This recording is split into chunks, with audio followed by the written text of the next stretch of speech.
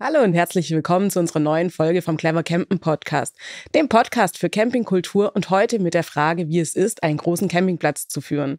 Ich bin Isabel Krautberger, Redakteurin bei der Motorpresse in Stuttgart für Caravaning und Promobil. Das ist mein Kollege Timo Großhans, hallo, Redakteur für Campingbusse und Promobil. Genau. Und unsere Gast, äh, die Heidrun Müller, Besitzerin beziehungsweise was sie genau ist, verrät sie uns später vom Gitzenweiler Hof, einem Campingplatz in der Nähe vom Bodensee bei Lindau. Herzlich willkommen. Freue mich mal hier zu sein. Genau. Hallo Heidrun. Servus. Ja. Ich bin natürlich auch Camper, möchte ich sagen. Also ich habe ja nicht nur einen Campingplatz, sondern ich habe auch einen kleinen Campingbus, einen Jules Verne, Okay. der mich Mhm. jetzt schon seit Jahren begleitet, wo ich dann immer inkognito Urlaub mache. Oh, das ist natürlich auch spannend. Spionierst du dann andere Campingplätze aus? Oder? Ich übernachte auch bei mir und gehe dann immer frühst duschen. Die Leute erkennen mich nicht, weil ich da eine Brille auf habe. Wenn ich Gäste habe, Freunde, die dann zu Besuch kommen, kommen dann eben auch zum Campen oder ein, eins unserer schönen Varias, den Häusern im Grünen. Und dann stelle ich mich so dezent dazu Okay. und nutze mal wie ein normaler Kunde unsere Fazilitäten. Ist manchmal auch sehr hilfreich. Ja, also wir haben es ja schon ein bisschen angefraten. Du bist Campingplatzbesitzerin von dem Campingpark Gitzenweiler Hof. Das ist ein großer Campingplatz. Er ist relativ, ich würde mal sagen, bekannt, deutschlandweit bekannt. Du bist ziemlich bekannt in der Camperbranche, in der Mhm. Campingbranche, auch bei Herstellern. Bist ja auch auf jeder Messe oder auf vielen Messen, auf dem Caravansalon und so weiter. Ähm, wie ist es? Erzähl doch mal ein bisschen von deinem Campingplatz, vom Gitzenweiler Hof. Wie lange wie lang hast du den schon? Also den Gitzenweiler Hof haben wir 1995 gekauft Mhm. von der Familie Lindstedt. Und es war jetzt zu einer Zeit, wo es noch keine Handys gab, noch kein Internet. Äh, ja, es war einfach, war noch sehr spannend. Mhm. Und es war praktisch eine große Wiese. Ein Camp, es Ähm, war schon ein Campingplatz, aber da war noch wahrscheinlich sah das noch anders aus als Es heute. sah anders aus. Es war nicht Mhm. klassifiziert. Lindstedts hatten das in Ende der 60er gekauft Mhm. von der Familie Martini aus Lindau und es wurde dem Don Alfredo Tabbert angeboten. Der wollte das nicht. Und der also der Tappert, den man kennt von Knaus Richtig. Tappert. Ja, der Don Alfredo hieß Mhm. er früher. Aha. Und das Lustige war, der wollte es nicht haben. Der hat gesagt, er baut jetzt erstmal Wohnwagen. Und, aber sein Geschäftsführer hat gedacht, so eine kleine Geldanlage, so am Bodensee Nähe, hübsch. Und die haben bei Würzburg gewohnt. Und mein Vater war der Steuerberater vom Don Alfredo, Mhm. vom Tabbert. Das ist der einzige Zusammenhang, den mein Vater zum Camping hatte. Mhm. Und somit hat der Dr. Lindstedt, der damals den Campingplatz gekauft hat, meinen Vater mit der Buchhaltung betraut. Und ich habe die Buchhaltung gemacht, jahrelang vom Gitzenweiler Hof, weil ich habe auch mal was Ordentliches gelernt. Bin ähm, Gehilfin für steuerlich und rechtsberatende Berufe Mhm. im Steuerbüro gelernt und hatte dann das, war meine Buchhaltung, Finanzbuchhaltung. Bevor du den Campingplatz gekauft hast, hast du für ihn schon die Buchhaltung gemacht. Genau. Und dann ändern sich aber die Zeiten. Wenn du dann auf der anderen Seite vom Tresen stehst, schaut das alles ganz anders aus. Weil als wir dann gekauft haben, Dr. Lynch ist leider verstorben, plötzlich. Im November 94 hat die Witwe mein Vater betraut, das Ganze abzuwickeln und sich alle, die hatten ein großes Imperium mit viel Baugeschäften, Mhm. Immobilien, alle möglichen. Also es war so ein Mann von Welt, wie in der Coca-Cola-Werbung. Der schwebte bei uns immer so durch Steuerbüro. Sehr spannender Mann. Und ähm, mein Vater hat dann alles verkauft und schön. Am Ende blieb dieser olle Campingplatz übrig. Den wollte irgendwie keiner haben. Und dann hat er noch eine Baufirma gehabt, die konnte er verkaufen. Und dann sagt die Frau Lindstedt, nur wenn er den Gitzenweiler Hof mitverkauft. Weil wenn der Mann jetzt tot ist, ist das für sie alles schwierig und sie möchte das nicht. Und dann sagt mein Vater, na ja, dann nehmen wir den halt auch mit Mhm. und dann wären wir schon wieder los. Aber irgendwie ähm, blieb ich ein wenig kleben an der ganzen Sache und Ja. mach's jetzt fast 30 Jahre. Ich wollte Ja. gerade sagen, sind jetzt ja auch schon fast 30 Jahre. Also da lebt man ja auch ganz schön viel, könnte ich mir vorstellen, in 30 Jahren. Und ähm, genau, also heute wollen wir in der Folge eigentlich mit dir so drüber sprechen, wie es denn ist, so einen großen Betrieb zu führen, Mhm. dass du uns mal vielleicht so ein bisschen mit hinter die Kulissen nimmst, was für Themen einen beschäftigen, was auch politisch ja, Ja. Äh, da ansteht und ähm, ja, vielleicht auch ein bisschen so über die Gäste zu plaudern, wie es denn ist. Äh, hat man sich äh, auch durch den Campingboom Ja. vielleicht jetzt die letzten Jahre, haben sich die Camper verändert? Also über all das würden wir gerne jetzt mit dir sprechen. Genau, wir freuen Also, uns schon. Wir haben ja ein Buch geschrieben. Da Oh. kannst du ja die Geschichten, also man Mhm. kann Geschichten über Camping, also jedes Jahr füllt es so ein Buch von Sachen, man glaubt es nicht, die sich die Leute neu ausdenken. Und ich bin ja ganz fies. Also ich bin deshalb so bekannt in der Branche, weil so zurückhaltend bin. Mhm. naja, Entschuldigung, ich habe einen nichts bekannten Campingplatz irgendwo in der Haute Volée. Wir liegen also zwischen Bodensee und Allgäu, sind nicht Mhm. direkt am See. Ja, eine wirklich eine Besonderheit und trotzdem so groß und erfolgreich. Und deshalb mussten wir ein bisschen was tun. Mhm. Also von alleine kamen die Gäste nicht. Und dann haben wir uns ja eine Strategie überlegt, weil ich kam ja auch aus einem branchenfremd. Ja, und dann kommst du so in der Branche an, auch alle kennen sich, alles ganz nett und familiär. Und also es war wirklich nett und wir sind auch nett aufgenommen worden. Aber wir haben dann recht schnell gemerkt, wir müssen uns ganz anders drehen als die, die halt zum Beispiel am Bodenseeufer Mhm. sind. Jetzt fährt bei uns der Stadtbus regelmäßig runter, aber ich bin nicht direkt am See und falle raus beim Google-Suche. Mhm. Ja, also haben wir uns entschlossen, gleich schon 95 so ein paar Sachen zu machen Mhm. und sind da voll eingestiegen. Und wenn ich zum Beispiel mit jemand aus der Politik rede, ist immer so ein Problem. Wenn du sagst, mir gehört so eine Zeltwiese, Mhm. kannst du sicher sein, dass das keine Sau interessiert, weil die gar keine Ahnung haben, was dahinter steckt. Deshalb bin ich heute auch hier, ja. um mal zu sagen, was wir so alles machen. Also ich Genau. habe, ich erinnere mich noch sehr gut, da hast du mir, hast du mir das mal erzählt auf einer Messe, dass du, wenn du mit Politikern redest, gar nicht mehr sagst, dass du Campingplatzbetreiberin bist, sondern ich glaube, du hast gemeint, du hattest, hast ein Outdoor-Hotel mit 250.000 Übernachtungen im Jahr. Und dann klingeln da natürlich die Ohren bei der Politik anders, wie wenn man sagt, ich habe einen Campingplatz. Genau ist das, so läuft ist das es. so? Ja, ich sage entweder Freilufthotel, dann Mhm. hören die nur Hotel. Mhm. Ja, 1000 Betten Hotel macht dann schon Eindruck. Mhm. Oder ich sag Outdoor-Ressort. Das ist jetzt mein neues Wort. Okay. Ein, wir haben ein Ressort. Mhm. Hört sich Okay. auch toll an. Und, und dann sprechen die mit dir. Wenn du dann mal sagst, 150 Mitarbeiter, äh, 16 Hektar Fläche, drei Seen, drei Restaurants, eine Pommesbude, Mhm. einen, einen netten Cocktailbar, ein Schwimmbad, ein Mhm. Ponyhof, ein Fahrradverleih, eine SAP-Stelle, Kanus, kannst du bei uns auf dem Weiher fahren. Mhm. Ja, also, ähm, und wenn die dann, und so drei Spielplätze haben wir ja auch noch und, ne, und Streichel, ja, Tiere zum Streicheln, so einen kleinen Streichelzoo. Und Trampolins. Trampolins natürlich, ja, und Animation. Und wenn du dann mal so aufzählst, was du alles so tust und was du alles für Firmen bei dir auch beherbergst. Also wenn bei uns der Postbote ein Paket bringt für den Gitzen, zum Gitzenweiler Hof, sag ich, für wen? Weil es gibt ganz viele Möglichkeiten der unterschiedlichen Art. Entweder sind es Gäste, die sich was schicken lassen, weil sie was vergessen haben.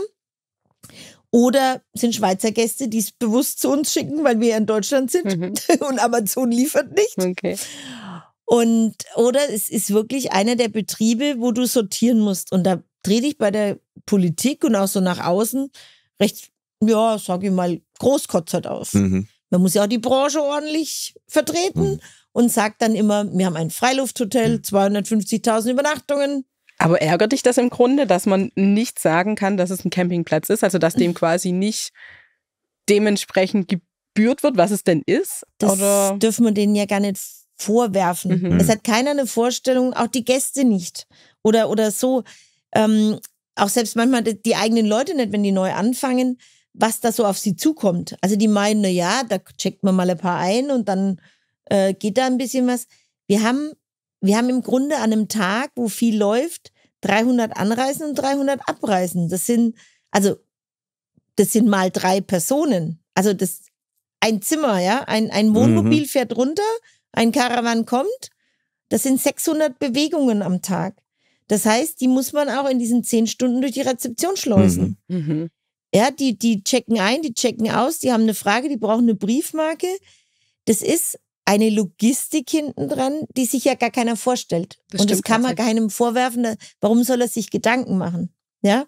Und das ist eben das, was ich dann, ich erzähle dann immer, was ich so tue. Und ganz zum Schluss, wenn ich dann so aufgezählt habe, was man bei uns alles hat und was ich so alles mache und was ich so nebenbei noch mache, und dann engagiere ich mich ja noch bei der Mentorstiftung für die Erziehung der Kinder und im Grunde auch unserer aller besser Zukunft. Wenn man ein bisschen die Gesellschaft stärkt, kommt ja auch wieder was zurück. Engagiere mich bei der IHK im Ehrenamt, engagiere mich bei vielen Dingen im kleinen Umfeld, wo ich sage, muss ja die Region zusammenhalten und sowas. Wenn ich dann mal aufgezählt habe, was ich so alles neben dem Campingpark noch tue, dann sage ich ganz zum Schluss, ach, und eigentlich haben wir ja nur Zeltwiese. und dann ist natürlich der Brüller auch wieder da. Ja, klar, logisch. Das, ähm, und das fesselt dann und dann ist es aber so, dass du auch einen Termin kriegst. Mhm. Also jetzt auf der Herfahrt nach Stuttgart hat mich äh, vom Färber, der ist Minister in Berlin, das Büro, das Sekretariat angerufen und gefragt, wann möchten Sie denn den Termin? Mhm. Sie wollten noch ein paar Themen besprechen. Sag ich, ja, da hätten wir so ein paar Sachen. Und was sind es dann für Themen? Kannst du das mal umreißen? Was, was, äh, was erwartest du von der Politik heute? Also das Schwierigste, und das ist ja, betrifft ja jetzt nicht nur die Campingbranche, ist im Grunde die Bürokratie. Die trifft ja in alle Sparten, aber Mhm. uns besonders, weil wir haben ja im Grunde jedes Gewerk. Also ich habe ja alles beschäftigt, vom Rezeptionisten über die Hausdame, über die Reinigungskraft bis hin zum Gärtner, zum Animateur, Mhm. einen Tänzer. Ja, wir haben, wir haben einen Außenbereich, wir haben Grünanlagen, wir haben einen Pool, wir haben Techniker, wir haben einen Maschinenfuhrpark. Ich kann ja nichts richtig, aber von allem was. Mhm. Und dadurch betrifft einen Campingpark oder, oder die Campingbranche generell grundsätzlich wahnsinnig viel. Mhm. Und wenn der Politiker dann kommt und ich irgendwie das so ein olles Formular ausfüllen soll, wo der sich gar nicht bewusst ist, welche Konsequenzen die da wieder beschlossen haben, wie beispielsweise bei der Grundsteuer. Also die Grundsteuer ist ein, ich weiß gar nicht, wie man das, wie man das wieder in den Griff kriegen soll, ohne dass kleine Betriebe oder mittelständische Betriebe, die ja die deutsche Wirtschaft hochhalten, das hinbekommen. Wir zahlen jetzt das Fünffache an Grundsteuer. Ich habe aber nichts dazu gekauft, ich habe nichts verändert. Es ist nur ein neuer Bemessungsgrundlage Mhm. gebildet worden. Und da werden alle, also kleine Firmen wie Sägereien, äh, die ganzen Handwerker, die draußen Lagerfläche haben für Holz, die Campingplätze, die unbebaute Fläche haben, werden jetzt eingestuft, als hätten wir in Stuttgart an bester Adresse einfach mal einen Bauplatz freigelassen. Mhm. Ja, dass das bei uns Hotelbetten sind. Mhm. Ja, dass der ja, das, das wird ja nicht berücksichtigt. Wir werden ja mit allen über einen Kamm geschert. Und es, also, ich sag mal, das Geld kann ich anzünden. Das, das, das bringt uns nichts. Dann ist das nächste Problem im Grunde, was wir haben, Digitalisierung. Mhm. Man müsste den Politikern vielleicht mal sagen, dass es nicht digital ist, wenn ich eine E-Mail schreibe, Mhm. sondern dass Abläufe nur digitalisiert werden können, wenn man auch angeschlossen ist. Mhm. Also bei uns gibt's Tage am Bodensee, da haben wir nicht mal Telefon. Da gibt's keinen Telefonempfang. Okay. Kein es Handyempfang. Nix. Ne, nix. Es gibt nämlich auch kein Internet, da gibt's auch Ja. keinen Festnetzempfang, mhm. weil mittlerweile gibt's Telefonie und du kannst nicht mehr analog telefonieren. Mhm. Aber das Netz bricht zusammen und ist nicht vorhanden. Weil zu viele Teilweise- Touristen sind oder warum Nein, ist das so? weil Ist die, Infrastruktur, in Deutschland nicht funktioniert. Mhm. Und weil bei uns die Grenze ist. Mhm. Das ist einfach nicht vorgesehen. Also die Erde ist eine Scheibe. Hm. Hm? Und plups, hört da Deutschland auf. Hm. Und auch die Digitalisierung. Mhm. Und dann sind wir natürlich auch außerhalb der Ortschaft, weil sämtliche Campingplätze sind ja meistens ein bisschen größer Klar. und wie- außerhalb der geschlossenen Ortschaft. Also Ja. hast du ja keine Baustruktur. Diese Infrastruktur fehlt dir ja. Jeder Campingplatzbesitzer muss wie eine Löwenmutter kämpfen um die Anbindung. Mhm. Wir haben jetzt einen Stadtbus. Ja, wir gehören auch zum Stadtgebiet dazu. Und wir zahlen auch ein Viertel aller Übernachtungen in Lindau sind bei uns. Und wir zahlen auch die meiste Kurtaxe Ein Viertel von ganz Lindau, vom Landkreis. im Landkreis. Ja? Nur auf dem Campingplatz. Nein, Gitzen- nur am Gitzenweiler Gitzenweiler Hof. Hof. Ja. Und nämlich knapp ein Viertel ist noch auf dem Campingpark am See, der Okay. mittlerweile städtisch ist. Mhm. Und im Grunde haben die Campingplätze im Landkreis Lindau, wenn man die alle zusammenrechnet, ein Hälf die Hälfte aller Übernachtungen. Brutal. Und das ja. möchte ich mal gerne dem Herrn Politiker sagen, dass wir in dieser Lieferkette und in dieser Wertschöpfungskette durchaus zu beachten sind Wahnsinn. und nicht irgendwo hinten runterfallen und auch Mhm. gut organisierte Betriebe sind. Ja, und es wird halt einfach, das hat man überhaupt nicht auf dem Schirm. Mhm. Weder als Politiker, aber auch niemand, der Nö. sich damit nicht beschäftigt, Ja. welche, welche Wirtschaftskraft da dahinter steckt. Und auch die Gäste, die kommen. Ich sag mal, ich muss es in so einem Podcast hier ja natürlich nicht sagen. Wir sind ja alle Camper. Wir wissen, was so ein schnuckeliges kleines Autochen kostet. Mhm. Ja, also ich kann einen Wohnwagen kaufen Mhm. mit dem Einsteigermodell, was Schöneres, was Größeres. je nachdem, was ich auch mache. Also ich bin ja der Typ, wie gesagt, VW-Bus, Hm. aber VW-Bus leiste ich mir auch nicht. Entschuldigung. Das sind ja Preise, die die aufrufen. Wirst ja wahnsinnig. Und ich habe jetzt einfach was, al- also was Älteres, schön gepflegt, schnucklig, klein. Äh, benutze nicht meine Toilette, weil die Kassette leere ich nicht. Okay. Mag ich nicht. Ich brauche Infrastruktur. The Dark Side of Camping, ja. Das gehört dazu. Genau. Aber es gibt ja jetzt Anbieter, die das äh, verbessern. Und, und es sind so Sachen, je nachdem, was du dir, du hast ja, du hast ja eine, ein, ein Gast, du kannst ja nicht sagen, der Camper. Das ist gleich, wenn du sagst, ach, sie machen Urlaub, ach, das ist aber schön. Und steckst dann in Studios Reisen mit dem Kreuzfahrtschiff Mhm. und dem, äh, der mal schnell nach Los Angeles fliegt und Disneyland macht, in einen Sack und in ein Zimmer. Hm. Da haben die einen Spaß miteinander. Das sind Mhm. alles Urlauber. Und genauso vielfältig sind natürlich die Camper. Camper. Aber auch. Und natürlich ist auch eine, eine, eine sehr, teils zumindest eine einkommensstarke äh, äh, Reisezielgruppe, was glaube ich auch nicht allen bewusst ist. Das hat immer noch leider so ein Mhm. bisschen den Ruf, campen, günstig Urlaub machen und das ist ja einfach schon seit Jahren, weiß man das ja, dass es das gar nicht mehr zutrifft. Also Kann man schon. Also es gibt man, ja Gott sei genau. Dank, eben, das ist ja das, dieses Range an Campingplätzen, die angeboten sind. Das ist ja auch genau das, was Camping ausmacht. Es dürft jeder machen, was er will. Also bitte nicht nackt über den Platz springen, wir sind keine FKK. Aber so grundsätzlich kannst du dir ja aussuchen als Gast, wo du hin möchtest. Ja. Deshalb musst du ja auch ehrlich sein als Campingpark. Das merkt der Gast nämlich relativ schnell, ob du dem jetzt grün und blau verkaufen Mhm. willst und dabei bist du rot angemalt, ja? Und der sucht sich ja aus, was er möchte.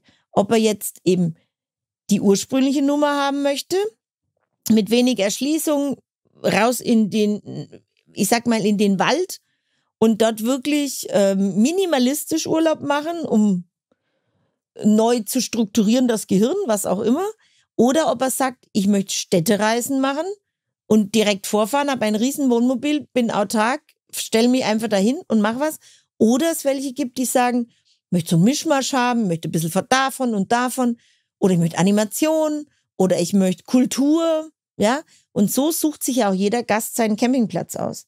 Und wir tun eigentlich von vornherein, haben wir uns festgelegt, da wir schon immer einen Ökospleen hatten. Ähm, und ich äh, früher Zeltlager so für 100 Kinder bei der KSJ veranstaltet habe. Also ich kenne das ursprüngliche Camping. Wir hatten noch einen Donnerbalken. Ich möchte das jetzt nicht erklären. Und Deswegen deine Aversion gegen die Kassettenwerbung. ja, genau. Oh, jetzt, ja, richtig.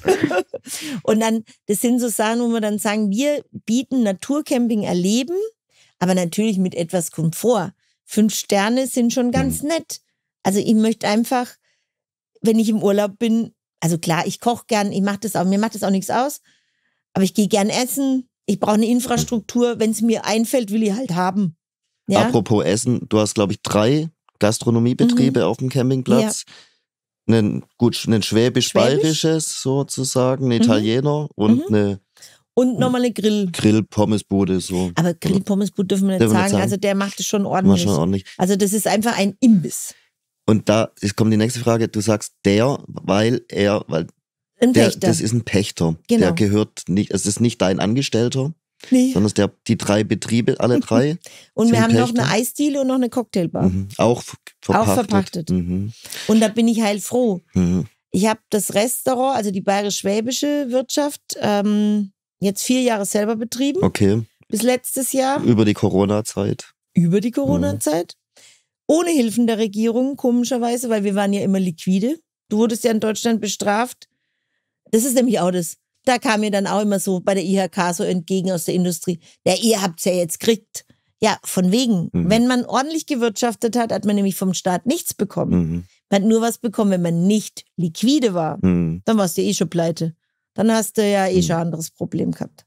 Und von wegen die Hotellerie und Gastronomie hat's überall geschenkt gekriegt. Einen Dreck haben wir gekriegt. Wir hatten Berufsverbot, was ich mir vor Corona, das konnte sich doch keiner vorstellen. Berufsverbot. Also, ja, das ist schon mal eine Nummer, wenn dann so dich 100 äh, Mitarbeiter anschauen und sagen, was machen wir jetzt? Mhm. Ich gesagt, ihr müsst jetzt zu Hause bleiben. Mhm. Das war schon mal, ähm, und wir können nicht im Homeoffice arbeiten, weil das geht nicht über VPN. Das geht einfach nicht. Ich Rasenmähen geht nicht über VPN. Ja, und auch nicht buchen geht nicht über Mhm. VPN, weil das System nicht so funktioniert bei uns. Okay. Also wir müssen uns jetzt Starlink oder irgendwas anlachen. Wir sind gerade wieder in Berlin unterwegs, Mhm. was zu suchen. Irgendjemand zu suchen, der mal eine Internetleitung dahin schmeißt. Hast du keine, bist du nicht zufrieden Ich mit deiner Glasfaser Internetverbindung? und es funktioniert nicht. Okay. Also einer der Punkte Politik. Aber der andere Punkt ist noch, wenn der Gastronomie ist, sind wir jetzt wieder von 7 auf 19 Prozent Mehrwertsteuer. Das Es- ist auch ein Lieblingsthema von dir. Jein. Also es war zu befürchten, dass es kommt, dass Ja. es nicht abgewendet werden kann. Ja. Und ganz viele Kollegen haben doch schon angefangen im Sommer das wieder umzulegen, weil es eigentlich absehbar war, Okay. dass es kam. Mhm. Und du kannst dich dagegen nicht wehren. Schwieriger ist es eigentlich, dass die, also das Problem ist, dass es jetzt noch teurer wird für den Endverbraucher ist, dass du ja schon viel teurer einkaufst. Mhm. Also auch der Nettopreis ist ja viel teurer geworden. Die Lebensmittel sind wahnsinnig hochgegangen. Mhm. So ein blödes Salätle, ja, kostet ja ein Vermögen Mhm. in der Herstellung. Mhm. Also dieser olle Kopfsalat, wir haben die Gott sei Dank bei uns im Bioschaugarten Okay. und verwenden, was wir können aus dem eigenen Garten. Auch jetzt der Pächter dürfte sich da bedienen teilweise, aber die brauchen ja Mengen, das können wir ja gar nicht züchten. Bis du so eine Salatplatte auf dem Teller hast, das ist eigentlich teurer als ein Schnitzel. Mhm. Also definitiv. Ja, erstmal, dass diese frischen Sachen einfach, wenn du Qualität kaufst, teuer sind. Das lassen die sich bezahlen. Dann äh, musst du Personal haben, was das Putzibär macht. Ja, ein Salat ähm, ist eigentlich das, undankbarste, was du auf der Karte hast. Ja, so ein Schnitzel schnell mal Mhm. durchzogen. Äh, Schweinebraten mit Knödel und Blaukraut. Das ist perfekt. Mhm. Ja, das geht.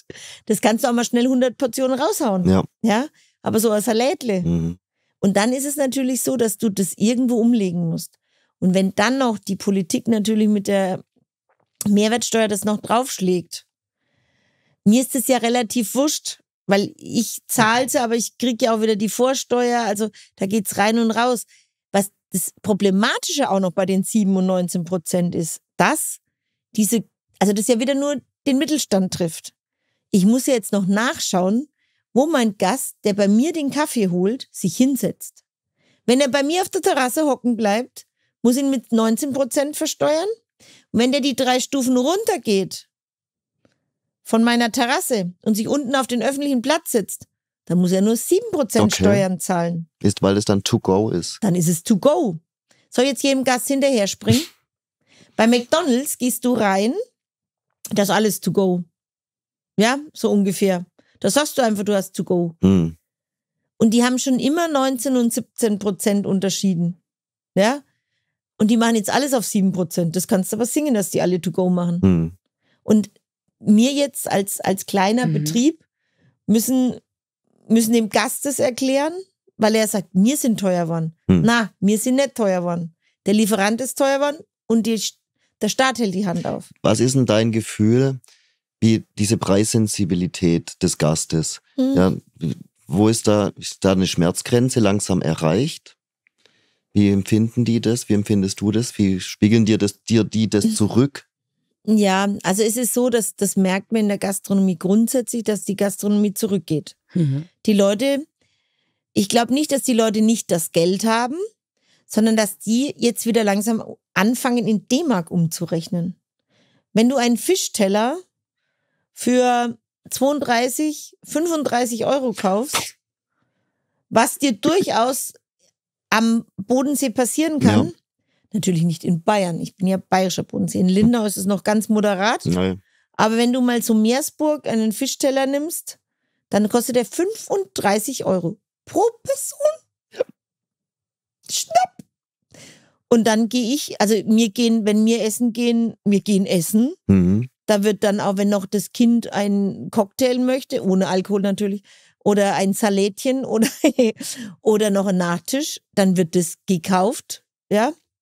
Und dann machst du mal Hopsala, wenn du die Rechnung kriegst. Also das ist schon so, dass du mit der Familie, wenn du essen gehst, sind es Beträge, die du nicht jeden Abend Ja. mehr ausgibst. Das wollte ich gerade sagen. Also, das finde ich, Mhm. merkt man schon. Also, man geht bewusster essen, finde ich. Also früher war Mhm. es im Urlaub, dann geht man halt essen. Punkt. Mhm.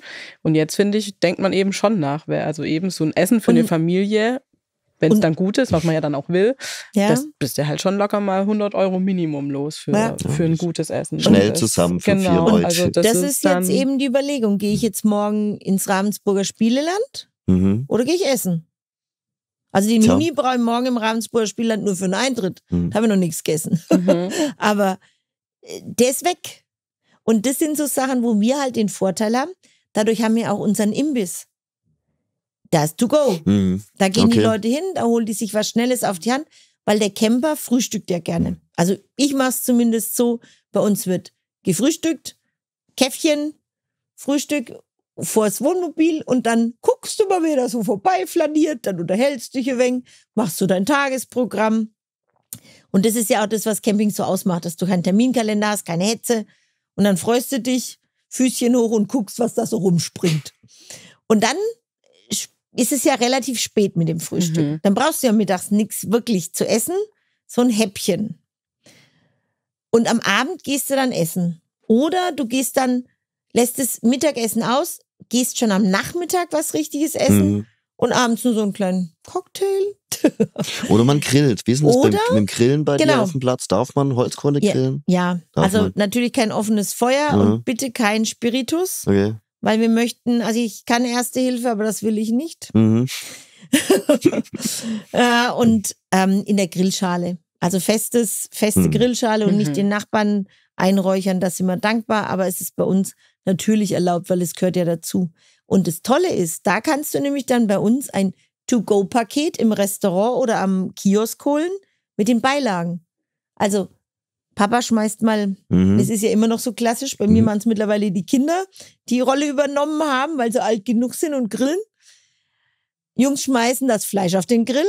Mami macht die Beilagen. Mami geht mal flockig bei uns ins Wirtshaus und holt sich Okay. so ein äh, Täschchen. Dann nehmen wir noch die Pommes beim Dings mit Mhm. und vielleicht noch so ein Pizzabrot beim Italiener. Supi. Mhm. Hab nachher nichts zum Spülen, alles da. Geh mit meiner Tupperschüssel Mhm. natürlich hoch. Ohne Müll. Machen die auch. Und dann hast du natürlich auch einen gemütlichen Abend. Und Ja. dann brauchst du auch manchmal nicht so viel. Und das ist natürlich das, was du jetzt dann auch machst. Wo du dann bei uns auf dem Bauernmarkt einkaufst, holst dir die Sachen und setzt sie mal gemütlich vor dein Freizeitgefährt, was auch immer du hast Ja. und, und gehst eben nicht mehr so häufig essen, Mhm. weil es ist ja auch die Infrastruktur rumrum. Der Laden hat ja auch alles. Der Laden hat Grillfleisch, wenn dir es abends um 8 Uhr einfällt, Ja. gehst mal schwupps noch was holen. Mhm. Und diese Preissensibilität, ähm, merkt ihr irgendwie, dass die Leute vielleicht kürzer Urlaub machen? Wie änd- ändert sich da das Ver- Urlaubsverhalten oder sind wir da noch stabil? Also ich glaube, wenn es nochmal, das, um das Essen abzuschließen, wir Mhm, haben ja auch Schweizer. Mhm. Die haben ja, die haben ja gar keine Schmerzgrenze. Die kommen Mhm. ja und freuen sich, wenn sie die Mhm. italienischen Preise sehen, Ja. unseres Pinocchios. Mhm. Ähm, ich glaube nicht, dass die Leute jetzt wirklich so kürzer bleiben, weil sie Geld sparen wollen, sondern weil dieses, diese Veränderung durch dieses Homeoffice, die haben ihre Tage verbraten.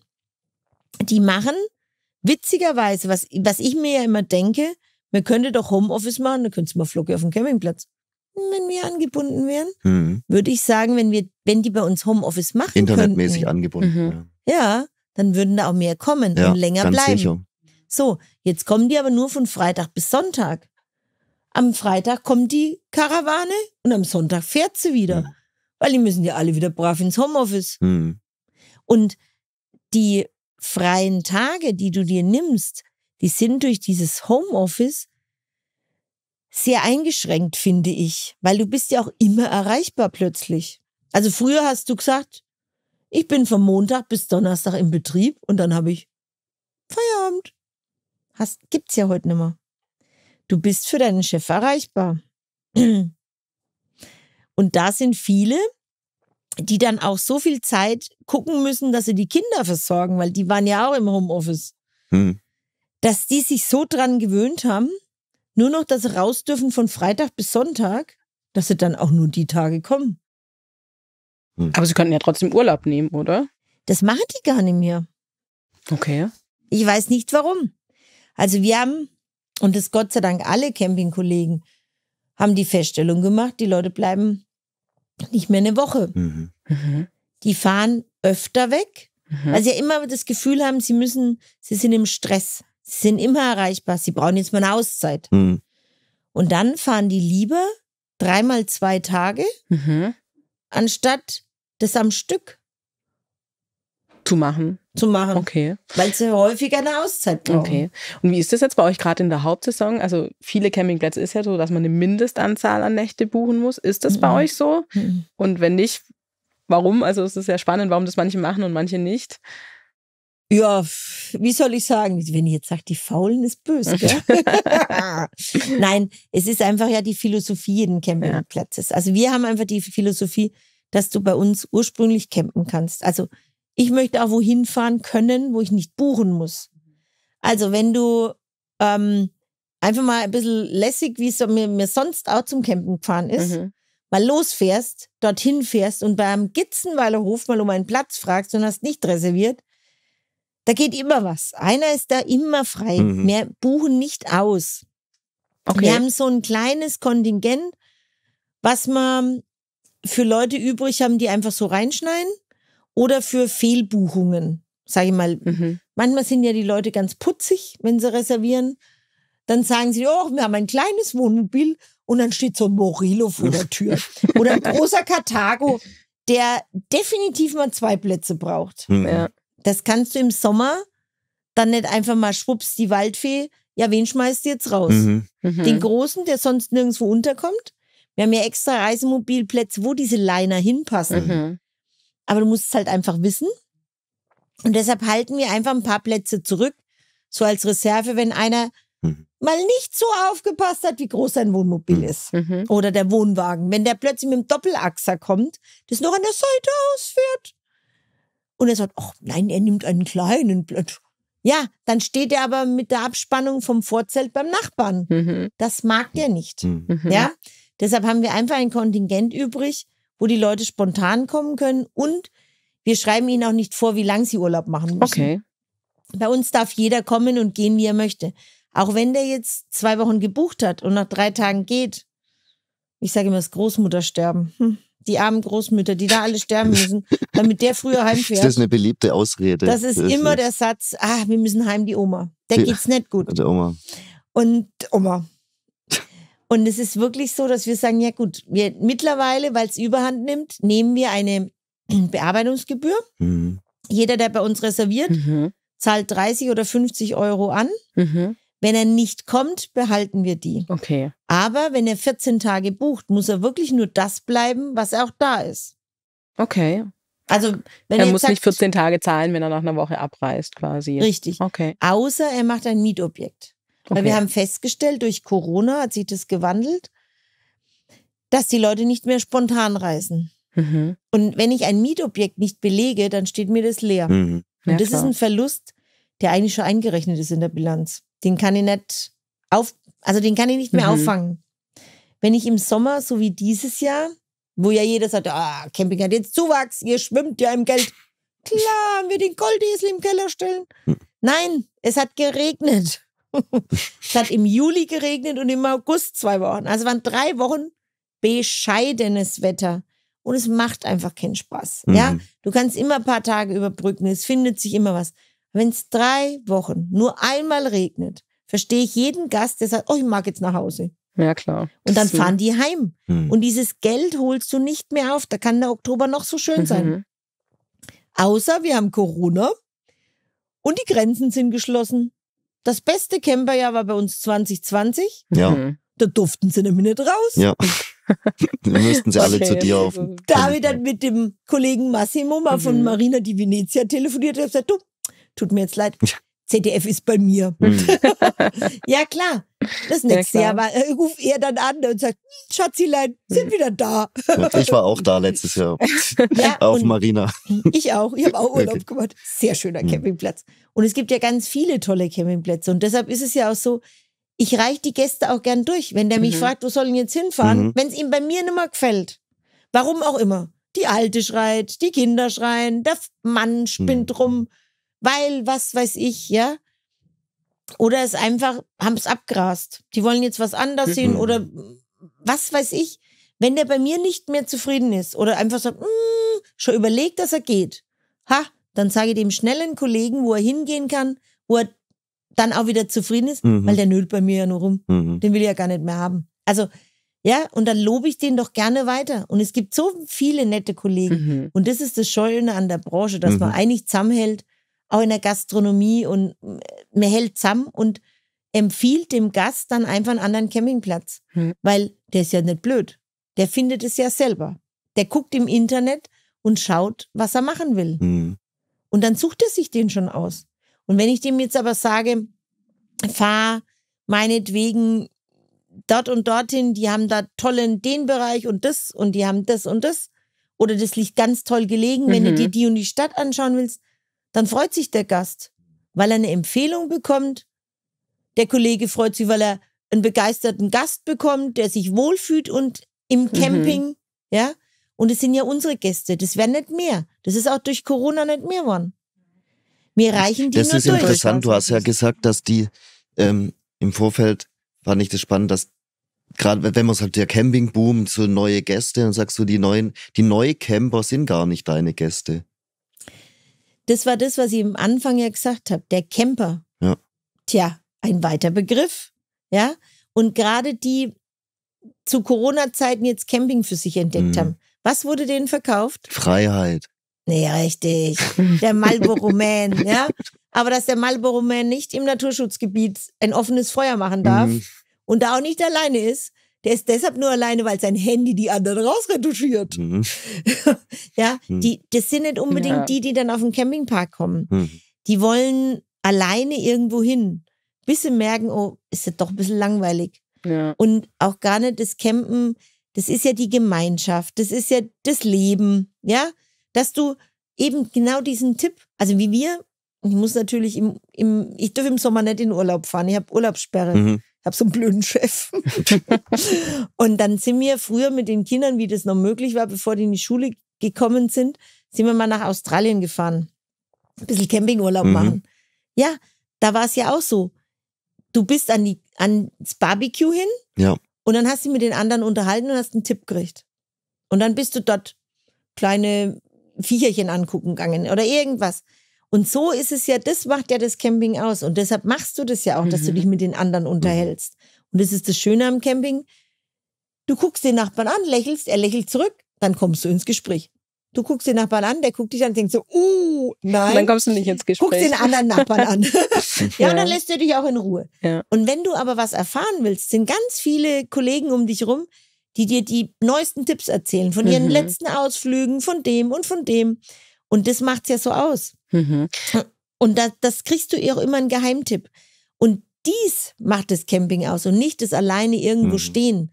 Und deshalb sind die neuen Camper, die das Campingleben gar nicht so erlebt haben, auch nicht angefixt. Also die Mhm. sind auch nicht begeistert. Die, die, die gehen jetzt wieder auf die Kreuzfahrt.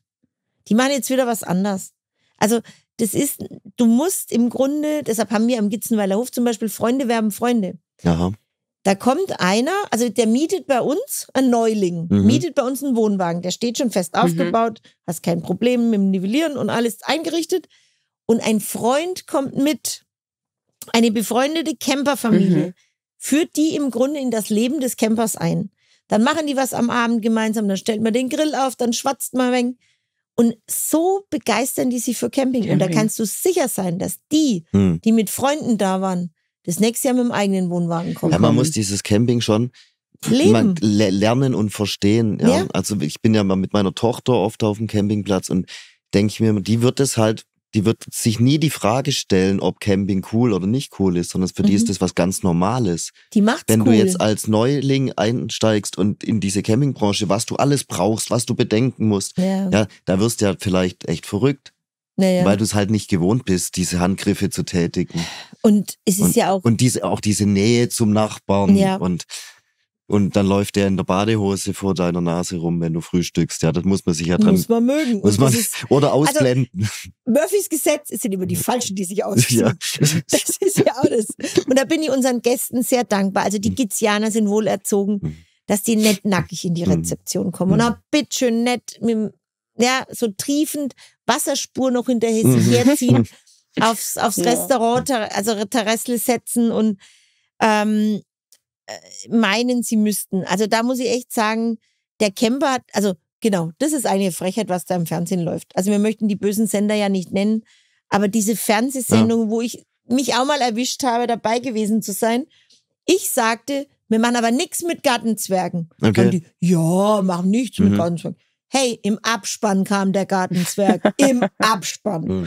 Und Ja, das das hat nichts gemeinsam mit wirklich dem modernen Camper, der wohl situiert, Mhm. der einen tollen Beruf hat, der fest im Leben steht, weil er ein Handwerker ist oder irgend, also ich sag mal, wir haben ganz viele Leute, die selbstständig sind, Ja. Die im Reinigungsservice zum Beispiel selbstständig sind, dann zu uns kommen und sagen, hey, habt ihr gut im Griff? Ja. Wo ich mich doppelt freue, weil es jemand ist, der es nämlich versteht. Versteht. Mhm. Und die haben alle ihren Beruf und die haben alle ihr Leben. Und denen brauchst du nichts erklären. Die machen sich da eine schöne Zeit Ja. ohne Terminkalender und die wollen einfach nur gechillt mal machen, was sie wollen. Und dass sich die Leute bei euch wohlfühlen, das zeigen ja auch so ein bisschen die Zahlen. Ich glaube, 65 Prozent habt ihr Wiederkehrrate, Ja. oder, oder? Genau. Ja. Also scheinen sich ja schon wohl zu fühlen. Ich würde kurz gerne nochmal zurückgehen auf was, was du vorher gesagt hast. Und zwar hast du gemeint, es wird immer mehr, dass die Leute früher abreisen, sich nicht mehr so Mhm. binden wollen. Ist das wirklich Ja. eine Tendenz? Also so Ja. dieses spontan und, und woher kommt das deiner Meinung nach? Also hat das was mit Corona zu tun? Also oder? ich möchte dieses böse Wort ja eigentlich nicht mehr sagen, Ja. aber definitiv hat die Pandemie mhm. die Gesellschaft verändert. Also Okay. in, Grund, definitiv, in grundsätzlicher Hinsicht.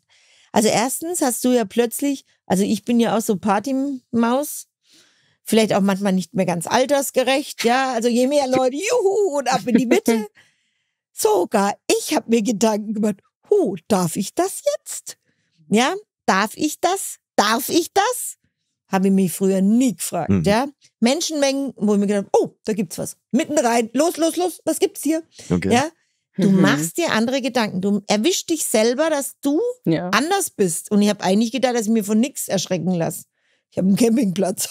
ich kenne ja eigentlich alles. Ah, nein. Und die Leute haben sich verändert. Die ganze Gesellschaft verändert sich. Die Mhm. Jugendlichen verändern sich. Und die sind schon in manchen Dingen sehr ich-bezogen worden. Ich Okay. bezogen. Mhm. Ich bezogen. Einfach aus Angst. Teil, teilweise haben die Leute ja Angst, ihnen passiert was. Und die Empfindungen sind anders. Es ist, also, bestes Beispiel, Weihnachtsmarkt oder irgendwie Jahrmarkt. Die Leute sagen immer, oh, da ist so viel los. Sag ich, hey, guck dich mal um. Früher bist du wie der Pinguin in der Ölsardine da durchmarschiert. Da hast du keinen Millimeter Platz gehabt. Mhm. Und jetzt ist nur noch ein Drittel der Gäste da, die aber kaufkräftig sind. Es ist jetzt nicht so, dass sie kein Geld da lassen, Mhm. aber du wirst nicht mehr durchgedrückt und du empfindest es aber immer noch als voll. Mhm. Ja? Und so ist es bei den Campern, glaube ich, auch. Also das, das geht durch die ganze Gesellschaft durch. Und so ist es bei uns auch. Die wollen Mhm. sich nicht mehr festlegen. Die ähm, sind, die melden sich nicht mehr verbindlich ab. Du Mhm. kannst ja heute, also früher hast du eine Verabredung gehabt und dann bist du gekommen. Du hast eine Buchung gemacht, dann bist du gekommen. Oh, jetzt habe ich einen Schnupfen. Oh, ich möchte sie ja nicht gefährden. Ah, hm, ja, hm, äh, hm, ich muss mal gucken, ob ich überhaupt kommen kann. Mhm. Ja, und dieses verbindlich bleiben, das hat sich total verloren. Ja. Man hat ja auch schnell eine Ausrede. Mhm. Ich huste, ich brauche, ich darf gar nicht kommen. Ich darf gar nicht Ich kommen. gar, darf nicht kommen. Okay. Und das, das Behalten haben die Leute irgendwie beibehalten. Und das merkt man auch in den, bei den Stornierungen. Ja. Wir hatten früher, das ist ganz witzig, wir haben jetzt dreimal mehr Arbeit, das ist nämlich auch das Problem durch die Mhm. Stornierung, hast du ja doppelte Arbeit. Ja, das ist der Blick hinter die Kulissen, was Da- man von außen oft nicht sieht, dass diese vielleicht, ich meine, bei Booking und so ist es natürlich, die haben, die haben natürlich auch da sicherlich dazu beigetragen mit 24 Stunden vorher Stornierbarkeit, Hm. ohne Booking ist Gebühren. nicht das Problem. Das Problem ist, dass Booking nicht digital ist. Booking macht eine Kontingenten. Wir sind nicht auf Booking, Mhm. weil das muss ich händisch einpflegen. Mhm. Wir haben unser eigenes System. Wir buchen auf unserer eigenen Homepage wirklich digital Mhm. und online. Das heißt, der Gast bucht sich ein. Ja. Ähm, er muss aber über die Rezeption stornieren. Und wir hatten früher äh, 11.000 Buchungen. Mhm. Jetzt haben wir 13.000 Buchungen. Könntest du ja erstmal sagen, juhu. Mhm. Wir hatten früher aber auch nur 1000 Stornierungen im Jahr. Jetzt haben wir 3000 Stornierungen. Mhm. Also ich habe wieder nur 10.000 unterm Strich, Aber hab doppelte aber Arbeit. 6000 Arbeitsschritte mehr. Mhm. Und es sieht gar keiner. Also 6000 im Vergleich zu 10.000. Ja. Also das ist ja nicht, dass ich ein, ein, ein 1%, sondern das ist mal eine richtige Ja. Hausnummer. Also von diesen, diesen 13.000, die, die buchen, stornieren auch 3.000 wieder. Und das musst du alles in die Finger nehmen. Mhm. Aber das ist genau das Wissen, was es auch irgendwie interessant macht oder auch ein Verständnis mit sich bringt, warum dann vielleicht manche Campingplätze auch fordern, dass man eben Mhm. eine Mindestbuchung, dann kann man das ja irgendwo auch wieder nachvollziehen oder in Relation setzen. Die Mindestbuchung bringt dir aber nichts. Die Mindestbuchung ist nur das, dass du ja genauso viel verdienst. Mhm. Wenn der zwei Nächte bleibt, hast du noch nichts verdient. Ab der dritten Nacht wird's interessant. Mhm. Ab der vierten Nacht wird's schön. Und wenn er so zwei Wochen bleibt, juhu. Weil dann hat er den Platz und du musst nichts tun. Ja. Ja, der reist an, du stellst ihn hin und dann reist er nach zwei Wochen wieder ab. Mhm. Wenn ich aber jetzt jede Nacht da einen neuen Gast habe, dann muss ich mich ganz anders bewegen. Und das ist das, was ja den Mehraufwand bringt. Zumal bleibt er auch noch kürzer. Ja. Ich habe jetzt unser Ergebnis angeguckt, wo ich gedacht oh, die Bilanz gefällt mir ja gar nicht. Weil wir haben mehr Umsatz, wir haben aber definitiv mehr Kosten. Und zwar so fies mehr Kosten, hm, dass ich mir sage, ach nö. Und das hole ich auch nicht mehr auf. Mhm. Also geschuldet dem, dass mehr Handgriffe zu tun sind Mhm. für den gleichen Quatsch, ja? Und dass, dass zumal das ganze Prozedere sich auch ändert. Die Leute werden auch komplizierter. Die haben ja auch einen anderen Anspruch. Das wäre auch noch eine Frage gewesen. Also wie sind denn die Ist der Gäste? Schokohase vegan? Mhm. ja, ich weiß, ich war mich unbeliebt. Aber, also, Es ist ja eine berechtigte Frage, aber sie kommt halt auch zusätzlich obendrauf. kommt halt oben drauf. Und ich sag mal, ich gehöre zu der Fraktion auch. Also ich habe seit meiner Geburt eine, ich sage jetzt mal Fehlzündung und ich muss auf die Ernährung, also auch wenn man es nicht sieht, ich muss auf die Ernährung achten. Ich kann manche Dinge wirklich nicht essen. Da kommt der Krankenwagen. Also bei mir ist das wirklich so und ähm, wir haben das ja schon immer. Also ich hatte es ja auch schon in den 70er Jahren, als es Mhm. noch nicht en vogue war. Und ich habe da vollstes Verständnis dafür. Aber ich habe früher einfach was nicht gegessen, wo ich, also ich esse heute, wenn ich heute bestelle. Also ich gehe ins Restaurant und ich weiß, wo die Sachen, was ich nicht essen kann, also wo es mir einfach nicht gut Mhm. geht. Ich kriege dann keine Luft. Der Rettungsdienst muss sich dann auch beeilen. Ja, also das ist auch ein, ja, meine Schwester hat leider das gleiche Problem. Die ist noch schlimmer dran, die hat noch so eine Notfalluhr. Das habe ich Mhm. mir mal abgewöhnt. Und da ist es aber so, dass ich dann einfach Sachen nicht bestelle. Also wenn ich weiß, ich esse äh, keine Salami, dann bestelle ich keine Pizza Salami und frage, ob da Salami drauf ist. Dann bestelle ich eine Fungi, ja, und nehme die Pizza einfach. Und sag dann so klein dazu, dass er vielleicht die Salami rauslässt. Also keine Deko-Salami Hm. oben drauf tut. Was ja öfters der Fall ist. Meine Schwester hat das Problem mit Kräutern. Mhm. Die ist allergisch auf Kräuter und kriegt keine Luft. Okay, das ist durchaus und da ist es manchmal schlimmer. Und das ist aber das. Die Leute machen sich keine Mühe mehr.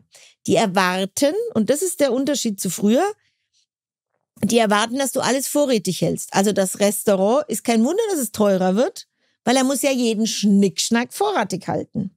Anstatt die Leute sich anpassen und sagen, das mag ich nicht oder das will ich nicht, das lasse ich jetzt weg. Erwarten die, dass der Wirt die Nudeln nochmal grün anstreicht.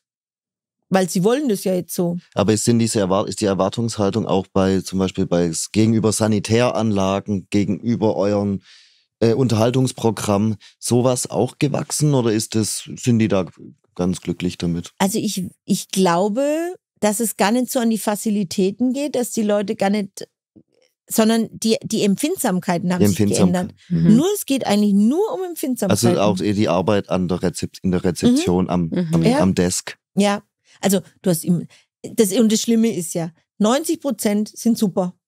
Und dann hast du zehn Witzpiepen dazwischen, Mhm. die versauen dir den ganzen Tag. Ja, früher haben wir auch, also Das, wollt, das möchte ich auch mal festhalten. Wir wollen hier kein Gäste-Bashing machen. Genau. Wir wissen, wir haben das gerade Ja. festgehalten, 65 Prozent Wiederkehrer bei dir. Mhm. Also es geht, ich glaube, das Verhältnis zwischen dir und den Gästen stimmt.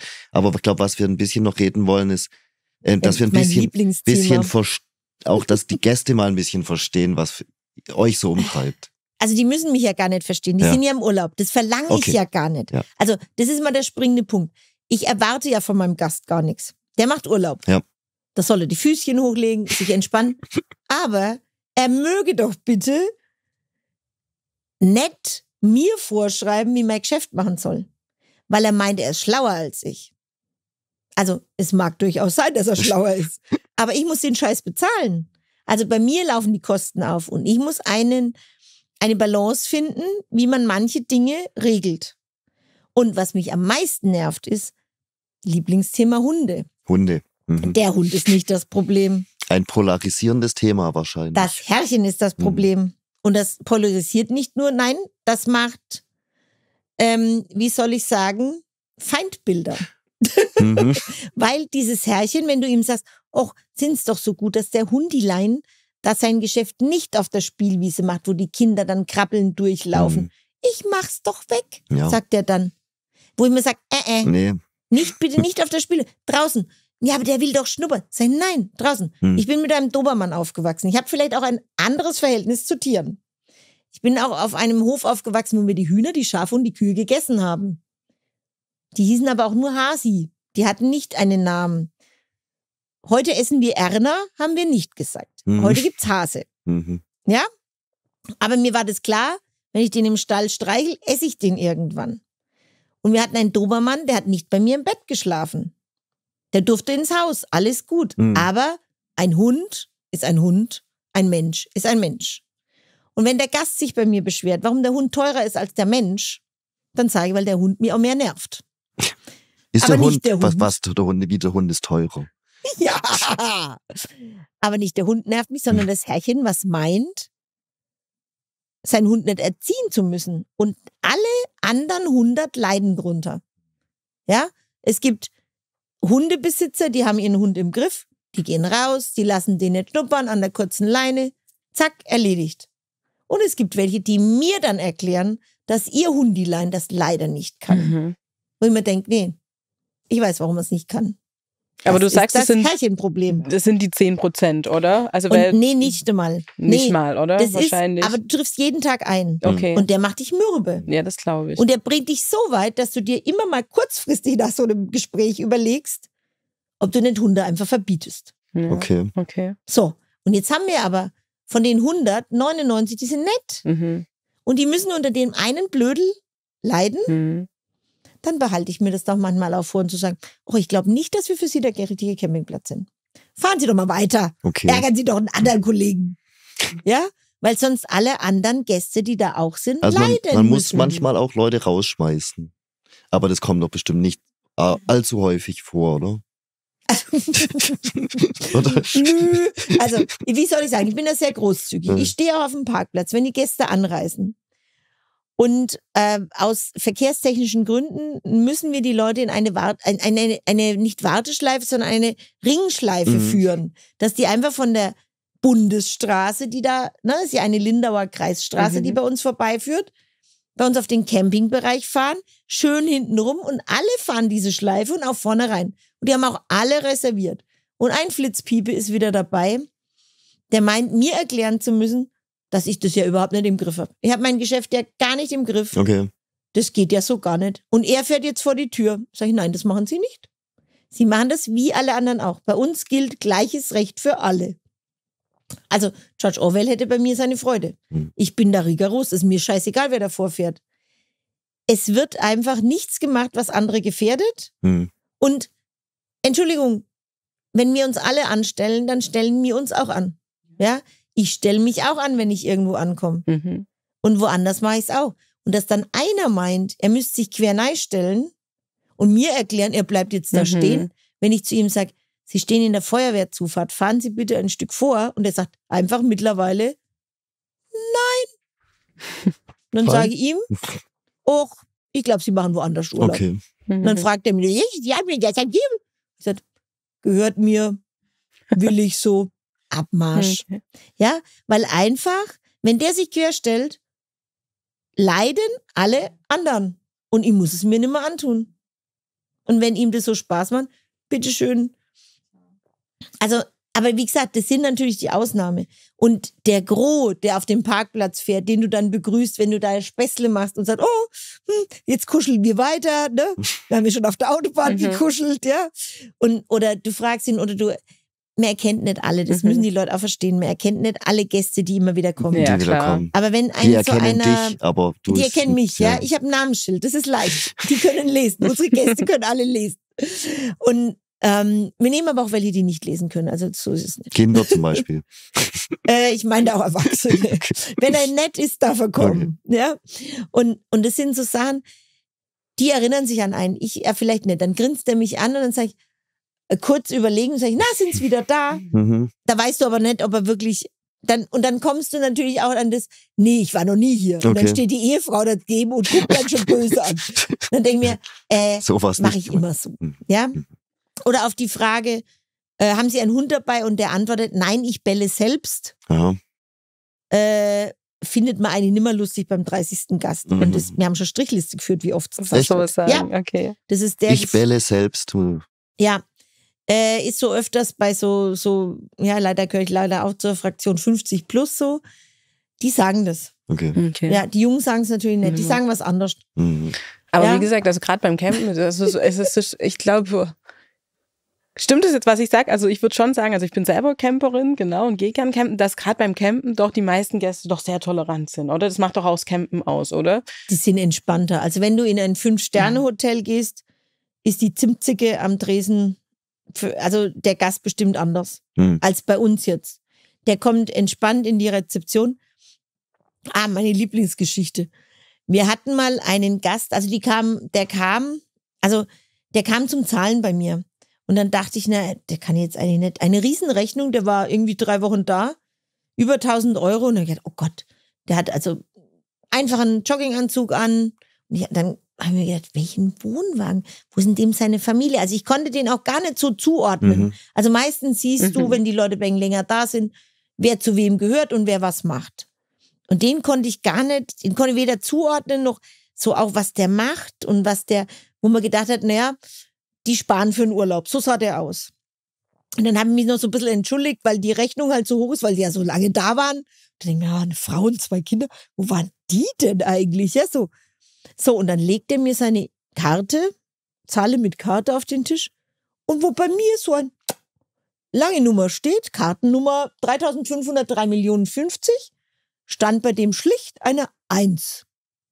Und ich frage normalerweise nie, wer mir gegenübersteht. Mhm. Also wir hatten Leopold von Bayern da, da dürfen wir es aber sagen, weil es steht bei ihm auch auf dem Auto. Glaubt natürlich keiner, dass das ist. Aber ich frage normalerweise nie, was der macht. Wir haben Leute vom Fernsehen da, die werden in Ruhe gelassen, die werden nicht abgeschirmt, die werden so behandelt, als wären sie einfach normal. Und dann fällt es auch nicht so auf.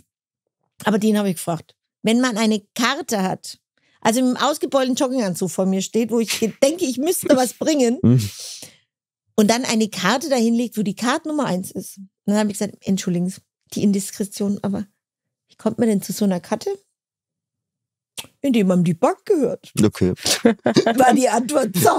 Und jetzt war der mal drei Wochen bei uns und der kam jedes Jahr wieder.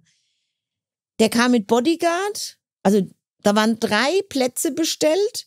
Der hat sich bei uns frei bewegt. Und Mhm. das war für ihn der schönste Urlaub, weil ihn keiner kannt hat. Mhm. Ja? Ja, klar. Und er hat sich einfach, und die Kinder haben sich frei bewegen können. Mhm. Das war für ihn die, der größte Luxus beim Camping, dass keiner weiß, wer er ist. Ja. Und der hat sich mit dem Nachbarn ganz normal unterhalten, durchgeschlendert. Und dann irgendwann ist der, die kamen jahrelang. Irgendwann habe ich sie ja dann kannt und auch gewusst, wer zu wem Mhm. gehört. Und auch die Bodyguards gekannt, man hat sie dann gegrüßt, ja.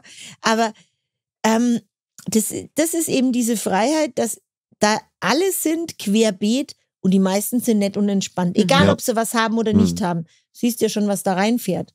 Manchmal fährt dann was rein, wo ich denke, hm, zwei Millionen. Mhm. Ja? Oder es wird Ja. mal dunkel in der Rezeption, weil da so ein kleiner Riesenbus draußen vorbeifährt. Oder dann fährt einer mit einem Auto rein, ganz bescheiden, ganz klein, wo du sagst, oh, der hat jetzt aber Schnickschnack dabei, wo du merkst, der will das so. Mhm. Ja, wir hatten jetzt vor kurzem einen, der kam mit dem Fahrrad und hatte so einen kleinen Wohnanhänger am Fahrrad. Mhm. E-Bike allerdings. Ja. Geschummelt hat er schon. Naja. Na, aber vom Neueste und vom Feinsten. Feinsten. Und da gehe ich dann schon mal hin und frage dann mal neugierig, ob man gucken dürfen. Und da sind ja meistens auch ganz stolz drauf. Und das ist ja das Tolle, dass wir im Grunde querbeet Leute haben, egal was die arbeiten, egal was die machen, egal irgendwie, die finden sich alle wieder und die vertragen sich alle auf dem Campingplatz und die reden miteinander, die freuen sich über den Nachbarn und tauschen sich aus. Und es ist ein nettes Miteinander. Und auch an der Rezeption ist es ja oft so, dass die Leute dann kommen, sich bedanken für den schönen Urlaub.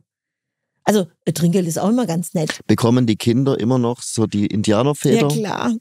Wir, wir haben natürlich unsere festen Dinge. Ich habe euch auch was mitgebracht. Ja. Also die Indianerfedern habe ich euch jetzt nicht, aber ich weiß ja, dass Oh. ihr ein paar Kinder habt. Wir haben zum Beispiel auch ein neues Tagebuch, kann man führen. Ein Okay. Fani-Tagebuch.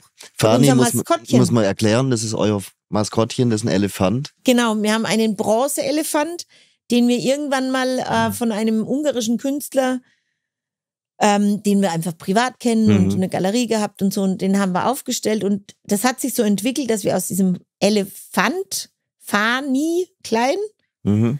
ähm, unser Maskottchen gemacht haben. Und mittlerweile gibt's ihn ja auch in Plüsch mit nach Hause nehmen. Wir haben schon Napsgläschen, Weingläschen, Saftgläschen mit Fani drauf. Mhm. Wir haben äh, eben das Tagebuch mit Fani drauf. Wir haben ähm, alle möglichen Dinge, eben bis hin die Indianerfeder, die jeder kriegt, Hm. aber eben auch Autogrammkarten und natürlich auch äh, den Fani zum Zuhause kuscheln. Und er läuft bei uns auch rum. Und das ist das, Das- Coole. Wir Das haben den als, Maskottchen, wie es so schön heißt, Walking Act. ja. Walking Act. Ja, wir haben uns das, also weil äh, ich glaube zu meinem 15-jährigen Jubiläum oder 20-jährigen Jubiläum hab mir habe ich mir einen kleinen Elefant geleistet. Und da wir ja tierlieb sind, haben wir den aus Stoff nähen lassen und keinen echten Elefant natürlich geholt und haben ein Maskottchen, das eben Mhm. draußen die Kinder begrüßt in der Mhm. Früh zum gute Laune Start in den Tag. Mhm. Kommt der Fani raus und tanzt unseren Clubsong. Ja, das ist natürlich für ein Kind das Ja. Highlight schlechthin. Also Ja. ähm, tatsächlich die Campingurlaube bei meinen Kindern sind geordnet Mhm. nach Maskottchen. Also wir Mhm. waren nicht in Italien, sondern wir waren beim Igel und dann Ja. wahrscheinlich beim Elefanten und Beim beim, Fani, genau, genau. Also das ist schon. Wie ist denn die Gästestruktur? Sind es hauptsächlich Familien oder kann man so gar nicht sagen? Das kann man, also ich sag mal so, wir nehmen alle. Mhm. Wir müssen alle nehmen. Mhm. Wir sind ein großer Campingplatz. Nein, wir richten uns natürlich immer nach der Saison. Mhm. Also natürlich, wenn ich am 1. August komme und keine Kinder mag, och, dann ist die Animation auch so ein bisschen auf Familien ausgelegt. Mhm. Ja. Auch dann nicht vielleicht, ja. Ja. Also wir machen definitiv, ist es bei uns ganz streng getrennt. In den Ferien oder Mhm. Ferienzeiten steht bei uns auch in den Giz-Hits genau Mhm. drinne, wann Familienprogramm Mhm. ist. Dann steht Erwachsenenprogramm Mhm. drinne und generationenübergreifendes Mhm. Programm. Also wo wir einfach im Herbst gibt's Zeiten, da gibt's schon Herbstferien, sind aber auch die Camper 55 plus unterwegs, Mhm. für die wir auch besondere Angebote machen ja, klar. und auch besondere Bespaßung. Wir machen eine Kreativwerkstatt mit unserem Animationsteam. Also wir haben nicht nur Hüpfdohlen auf Deutsch gesagt. Also bei uns Mhm. ist kein Mallorca. Ballermann-Animation, sondern wer Animation möchte, kommt zum Aktivprogramm vor in den Eingangsbereich. Da ist auch die Aktionswiese. Das sind dann auch mal Ausstellungen oder Fahrzeuge, die man sich anschauen kann. Mal der Bauernmarkt. Mhm. Blaulichttag hatten wir jetzt erst wieder Oktoberfest, ja. Das ist alles so im Eingangsbereich. Wer also Action möchte, kommt vor. Wer seine Ruhe haben will, bleibt hinten. Also wir zerren keinen von der Liege, aber wir bieten ein Angebot für alle Generationen. Mhm. Und je nach Jahreszeit richten wir uns halt einfach auf die Zielgruppe. Und klar, Ferienfamilien und außerhalb der Ferien, wo wir dann aber auch nicht voll sind, weil die Alten fahren nicht alle gleichzeitig. Wären ja schon blöd. Ne? Ja, Sind wir ja mal ehrlich. Die Familien fahren deshalb so geballt, weil sie halt sehr nett den Ferien richten müssen. Hm. Und die Camper 55 plus oder ohne Kinder, die fahren halt, wann sie möchten. Ja. Und da haben wir dann aber auch ganz gezieltes Aktivprogramm, Mhm. wo dann halt mehr ein bisschen Wanderungen drin sind, Schön. so ein bisschen Kultur. Dann machen wir immer die Kooperation mit der ähm, ähm, Stadt Linda, die haben immer eine Kunstausstellung. Mhm. Da hängen wir uns eigentlich immer an, sind wir auch Sponsor und machen die Workshops auch bei uns zu diesem Thema. Also wie 100 Wasser war, haben wir Fensterchen gemalt. Mhm. Monet haben wir jetzt schöne äh, Blumenbilderchen gemacht, ja. Und es sind so Sachen, wir hatten jetzt, hatten wir ähm, eine ganz coole äh, Andy Warhol Ausstellung in Lindau. Ja, da machen wir mit den Leuten das entsprechende Programm. Okay. Dann halt Altersgericht für die Kleinen, ein anderes Motiv, wie für die Mhm. Fortgeschrittenen schon. Können Kinder wahnsinnig toll zeichnen, da schnallt man ab. Aber wir bieten es auch so an, dass jeder mit einem Erlebnis und zufrieden rausgeht. Mhm. Also wir haben eine Kunststudentin, sage ich mal, bei uns, die hat mal Kunst studiert. Mhm. Die malt mit den Gästen so, dass diese Leinwand nachher ausschaut, dass du sie auch aufhängen kannst. Auch schön. Ja, und wenn die Kinder bei uns was basteln, dann ist es, ich sage jetzt mal idiotensicher so, dass die ein positives Erlebnis haben. Und wenn es scheiße ausschaut, sagen wir es auch. Dann helfen wir und machen es anders. Aber am Ende geht das Kind raus oder der Erwachsene, da muss das sehr sensibel sein, die Erwachsenen sind viel schlimmer, die können damit gar nicht umgehen, dass sie einfach was mitnehmen, wo sie stolz drauf sind Mhm. wo wir gesagt haben, das haben wir gemacht. Ja, und das sind die Sachen, wo wir sagen, bei uns ist jeder willkommen, aber er soll bitte in den Gitsitz schauen, wann es altersgerecht für ihn ist. Mhm. Weil sonst macht es keinen Spaß. Heidrun 95 hast du angefangen. Dann Ja. ist schon eine ganze Weile. Aber ich glaube, dir hat's, macht's Spaß. Nach wie vor, oder?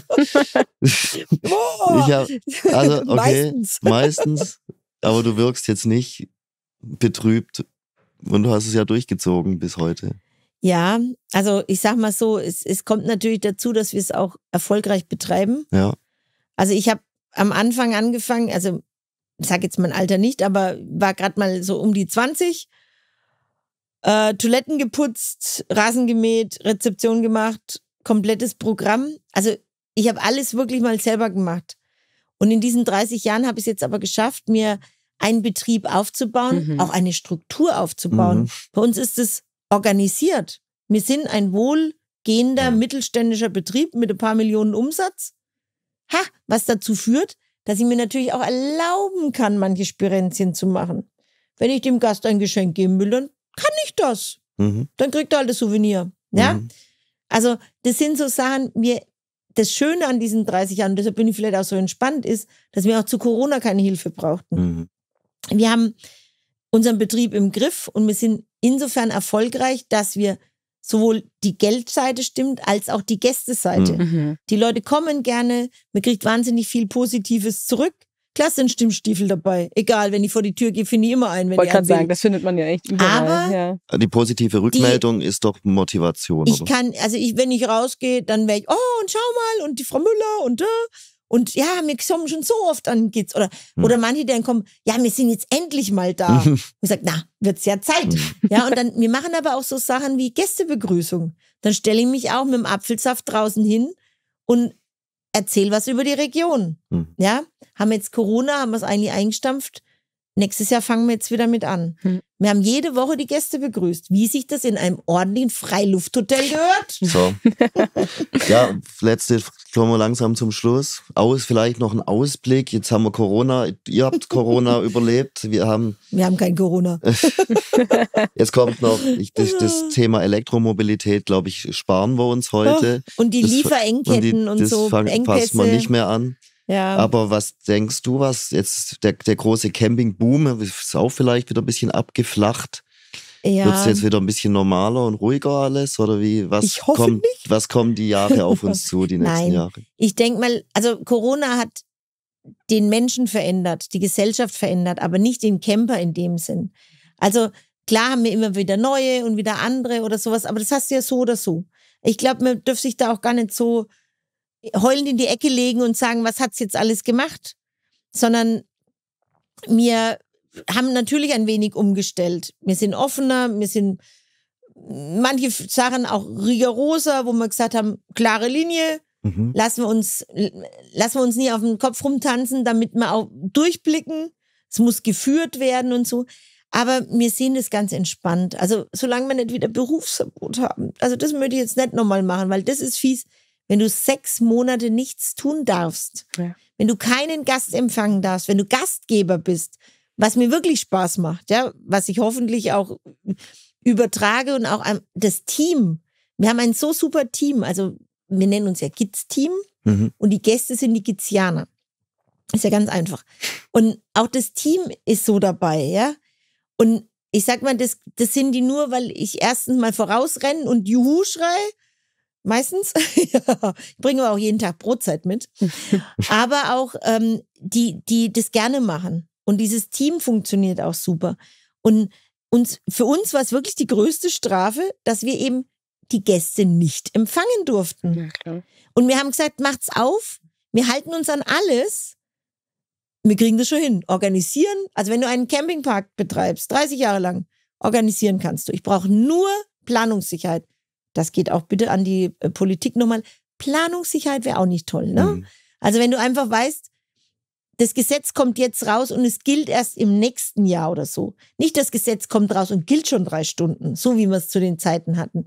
Wir haben manche Sachen in Corona einfach nur entschieden und gesagt, da stehe ich dazu und ich stelle mich vorne hin und verteidige meine Meinung. Das macht Sinn, Hm. virustechnisch. Und so machen wir es jetzt auch mit der Planung fürs, für die neuen Jahre. Wir werden immer wieder irgendwas haben. Irgendeine Sau wird wieder durchs Dorf getrieben. Und wir werden auch nach wie vor mit dieser Pandemie immer wieder in Kontakt kommen. Wir werden Lieferketten, Engpässe, neue Gesetze, immer irgendwas haben. Aber es liegt ja an uns. Ha. Und da ist der springende Punkt. Wenn wir anfangen und es macht uns Spaß und wir gehen gerne campen und wir begrüßen die Leute nett, dann kommen die auch. Und dann wird sich da auch nicht viel ändern. Und wenn wir mit Freude den Campingurlaub, also bei uns ist Campe dich glücklich, ja, äh, das Motto. Mhm. Wir haben Outdoor-Helden und äh, Camping, äh, ja, ist bei uns dieses, äh, das Ganze. Und wenn wir positiv vorauslaufen und wenn wir sagen, bei uns ist einfach schön, genieß es einfach. Es geht uns gut. Es ist alles in Ordnung. Lächel, schön nach vorne schauen. Und dann ändert sich da auch nichts. Und die Leute, bitte nicht hyperventilieren. Es ist immer noch ein Plätzchen frei. Man muss nur anreisen. Anreisen. Wer auf dem Parkplatz steht, wird bedient. Okay. Wir Okay. sind so nett. Ja, wir kümmern uns um alle. Wer mal da ist, kann gerne campen. Und so sehen wir das einfach entspannt. Schön. Und dann macht Camping auch Spaß und dann hast du auch keine Angst vor der Zukunft. Campe dich glücklich Ja. am Gitzenweiler Hof. Ich würde sagen, Heidrun, ein sehr, sehr schönes Schlusswort. Vielen, vielen Dank. Das war sehr spannend. Viel Das freut mich. Herzlichen Dank. Ja, ich komme auch Dank. gerne wieder. Ich habe nämlich noch ganz viele Geschichten. Wir Ja, haben ja auch ein Buch geschrieben. Das, das müssen wir Das verschieben, Teil gut. 2. und den Fani haben wir nicht erklärt. Den Fani, ja. ganz Gibt viele noch Dinge ganz viele gibt's zu zu entdecken. entdecken am Bodensee, so zwischen Bodensee und Allgäu. Ja. Ist Herrliche- alles, alles dabei. Alles dabei. Nee, also vielen Dank auf jeden Fall. Wir sehen und hören uns bestimmt nochmal. Ja, wir sehen uns ja auf der CMT. Ja, genau. Genau, der wir Messe sind in natürlich Stuttgart. auf der da. CMT Wir wieder sind da. da. Mit dem Bodenseestand neuerdings. Also wir, wir schließen uns jetzt mit der Region zusammen, um Super. auch die Region zu stärken, weil nur so können wir stark auftreten, dass wir uns bündeln im Grunde und den Gast schön empfangen und schön begrüßen und ihm auch was bieten. Ja. Und der Bodensee und der Gitzenweiler Hof hat definitiv was zu bieten und deshalb sind wir natürlich bei der CMT wieder dabei. Und dann freuen wir uns auf neue und alte Gäste wiederzusehen und ja. auf die nächsten Sommerurlaub. Urlaub. ja, also vielen Dank auf jeden Fall. Dann sehen wir uns an der CMT. Timo, es war ein sehr interessantes Gespräch. Ich Absolut. würde sagen, ähm, Wir haben Ja. heute ziemlich überzogen. ja, ich glaube auch. Und tut der wir- Kerl in der Technik leid. Und das ist Nein, unser aber, Techniker Patrick ist, Genau. Aber um, sitzt äh, tapfer da und wartet und äh, trampelt schon, weil Ja. das Studio in einer Viertelstunde neu Besetzt wird hier.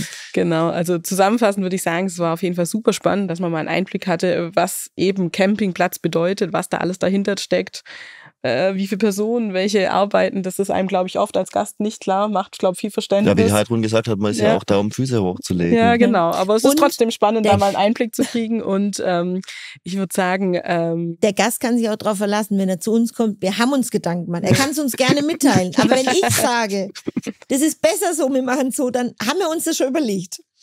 Und von daher komme ich auch gerne wieder und erzähle auch den Rest, weil es ist ja alles nur angerissen. Ja. Im Grunde kann man über Camping und Camp, also nicht nur Camping erleben, sondern auch Camping betreiben, Mhm. ja, stundenlang weiterreden und immer wieder. Also ich komme gerne nach Stuttgart, Gerne. bin immer wieder da und, Und hoffe auf eine gute und sonnige, bitte Sonne und dann wird die Campingsaison toll. toll. Schön. Geben wir noch einen Ausblick. Genau. Ich glaube, unser nächster Gast wird der Markus Böhm vom Hümer Museum, Mhm. Erwin Hümer Museum. Das ist auch in deinem Sehr spannend. Einzugsbereich. Da sind Und- wir uns auch schon über den Weg gelaufen. Da müssen wir auch den Gästen unbedingt sagen, das ist kein Hümer-Museum, sondern es ist die Campinggeschichte Ja. ab den 50er Jahren. Und dieses Erwin Hümer Museum hat es aufbereitet für alle, die wirklich ähm, sich dafür interessieren. Es ist einfach ein schöner Ausflug.